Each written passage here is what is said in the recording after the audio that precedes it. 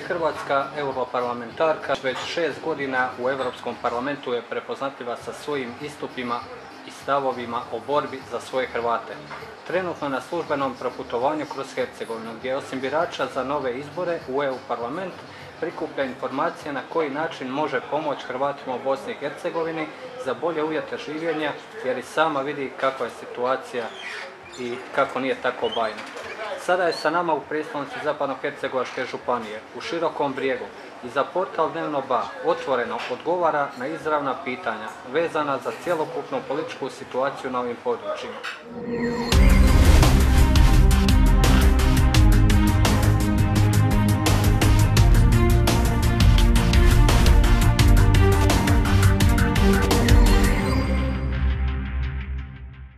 Gospođo Tomašić, već nekoliko dana obilazite gradove po Bosni i Hercegovini.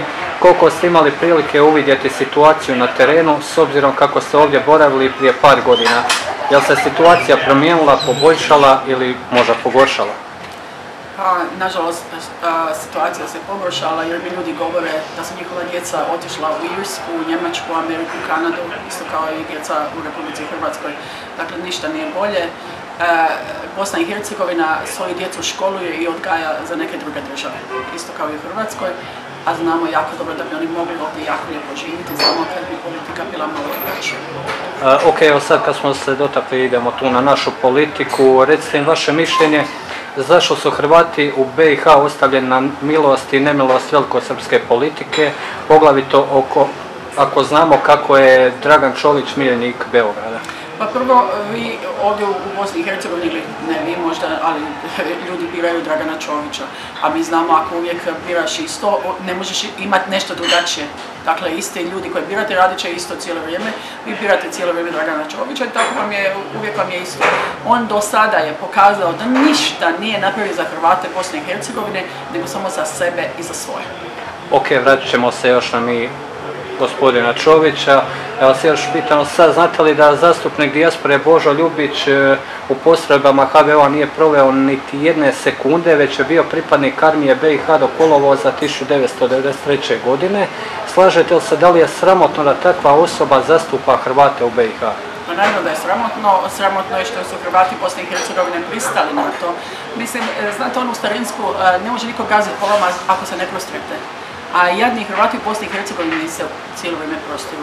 Pošteni, iskreni, vrijedni ljudi, ali jednostavno popuštaju gdje ne, gdje ne bi trebali. Nemojte zaboraviti, ja sam od Žepča, dakle moje rodno selo je Mladoševica, župa Novi Šeher i znam jako dobro kako Hrvati žive i koliko napuštaju e, Bosnu i Hercegovinu, a znam isto tako da ne bi trebali. Tamo je isto zemlja plodna, rodna ima, ima puno ravnih polja, dakle nisu sve planine i ljudi bi mogli živjeti na svome i od svoga, samo kad bi netko normalan, kad bi radio za njih.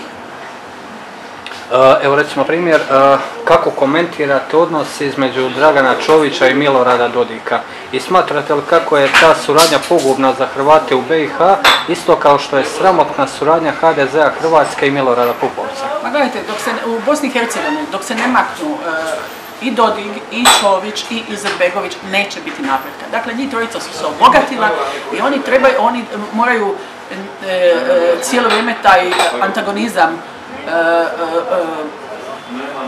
podjarivati da se mi svađamo svi između sebe i da niko ne pita odakle njima sav onaj novac, odakle njima onolika imanja. Dakle, oni moraju, a, a mi bi, a, a Hrvati Bosne i Hercegovine bi trebali smijeniti, trebali bi poslati u ropotarnicu povijesti, jer nisu ništa napravili. Teško ćemo mi na taj način i u Evropsku uniju ući. Pa dobro, Evropska unija to je malo drugačije.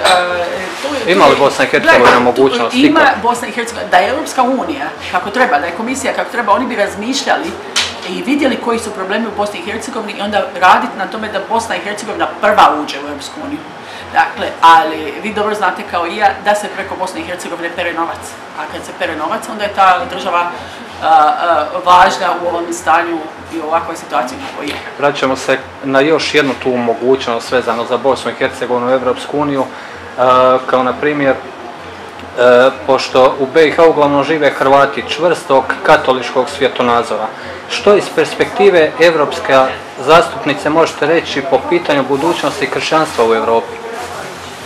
Ima li tu kakva poveznica između Bosne i Hercegovine i Europske unije? Pa ima velika poveznica i tu bi se Hrvati Bosne i Hercegovine trebali malo više povezati sa katoličkim organizacijama, udrugama u Europskom parlamentu. Ja mogu biti ta veza. E, zajedno moramo nešto napraviti. Dakle, katoličanstvo je sad, ili, ili zapravo kršćanstvo je ugroženo u, u, u cijeloj Europi.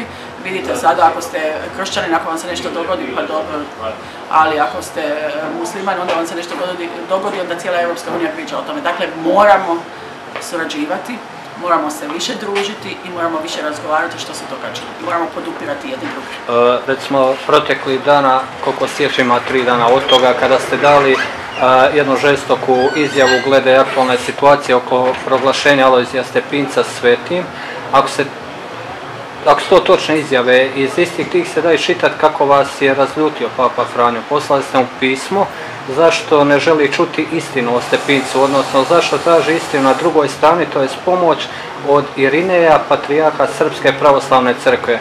Možete li nas posjetiti što ste kazali tada? Pa upravo to, to što ste rekli. Gledajte, ja ne razumijem. Svi znaju tko je blaženi Alojzije Stepinac, svi znaju koliko je ljudi spasio, pa židovi imaju knjige i knjige o tome i on se nije okrenuo prema židovima da njih pita što je bilo, nego pita Irineja. Mi jako dobro znamo tko je Irinej, da Irinej pljuje po cijeloj Hrvatskoj, da njemu Hrvatskoj ništa nije važno, da su njemu svi Hrvati ustaše, uključujući sve svećenike, e, biskupe, svi su njemu ustaše, pljuje po Hrvatskoj gdje god stigne, a ja mislim da bi, da bi e, Papa ipak trebao uzeti u obzir osjećaj Hrvata, pogotovo što su nas zvali predsjedđe kršćanstva i što smo mi doista bili kršćani i, i, i što je meni najgore, e, Tito je tražio od Stepinca da se odrekne Rima da, um, da se odrekne Vatikana i da osnuje Hrvatsku katoličku crkvu. Dakle, da je Stepinac pristao na to, njemu nikakvog suđenja ne bi bilo, onda i ne bi bio takozvani, kako oni kažu, zločinac, ni ništa, nego bi jednostavno onda pokazivali Stepinca svima kako se on... Kako židovska zajednica? Samo da kaže, a pošto Stepinac to nije htio, ni pod koju cijenu, onda je Stepinca proglasio ratnim zločincem i sada, na ovaj način, Papa ponovo sudi po blaženom Stepincu. E, kako je židovska zajednica reagirala na sve to? Pa ima dosta židova koji se javljaju, koji su napisali knjige. Imate ovu gospođu kad se zove u Americi koja je, koja je rekla koliko je e, Stepinac spasio židova, koliko je djece spasio koliko je pravoslavne djece spasio. Dakle, on je jako puno ljudi spasio i umjesto da govore o tome, da papa govori o tome da traži svjedočanstva od tih ljudi, on pita, on e, traži da četnici sude Stepincu. Mislim ako i od pape previše.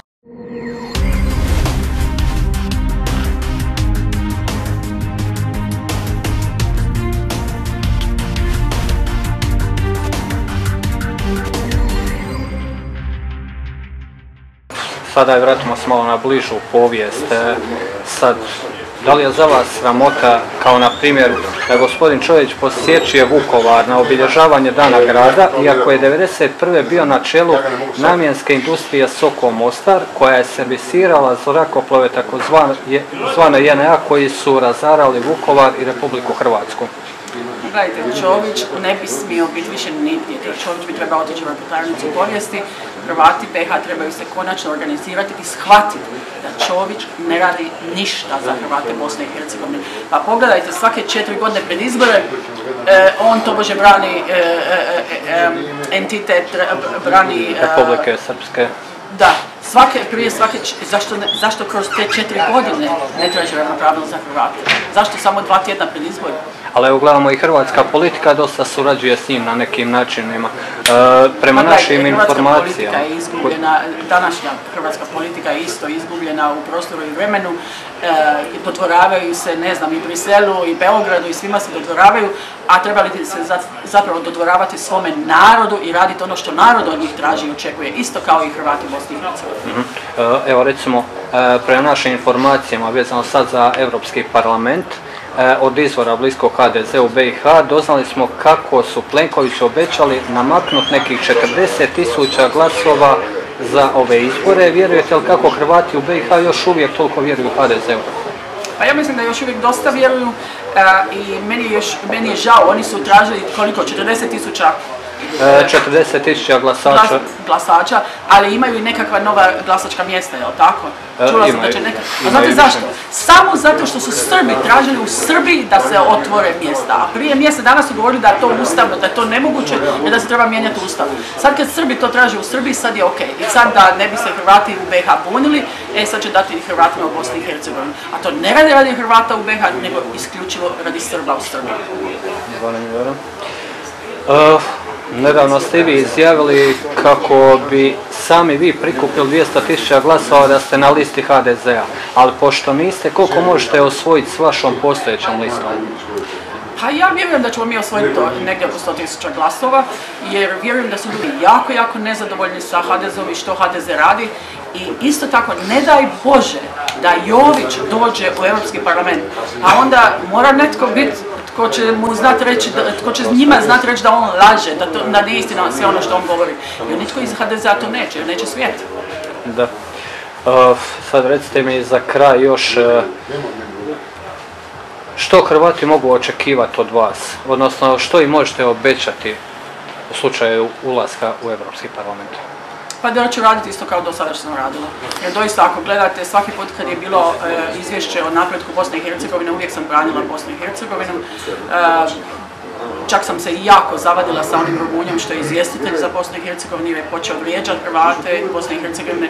Vi niste ovo, vi trebate ovo. Onda sam njega pitala tko je on, šta, si on umišlja. Umišlja da ako baš želi da, Hrvat, da Bosna i Hercegovina uđe, neka izvoli doći u Bosnu i Hercegovinu i neka izvoli raditi s tim ljudima, pokazati im kako, na koji način, što napraviti da uđu u Europsku uniju. Imate li još kakvu poruku za svoje buduće birače za građane Hrvate Bosne i Hercegovine? Pa evo poručujem svim Hrvatima Bosne i Hercegovine da e, svatko tko može neka izađe na izbor. Ovo je jako važno. E, mislite da ovi izbo- izbori nisu važni, ali jesu, jer 70% zakona koji se donose u Europskom parlamentu e, moraju se provoditi u Republici Hrvatskoj. Dakle, moramo pokazati da smo jaki, moramo pokazati svoju snagu, moramo pokazati iskrenost i poštenje. Dakle, raditi pošteno. A ja mislim da sam to do sad pokazala i dokazala. Hvala lijepo. I zaboravila sam reći, lista broj šest, ja sam prva na listi. Hvala lijepa, gospođo Hvala vam. Samošić.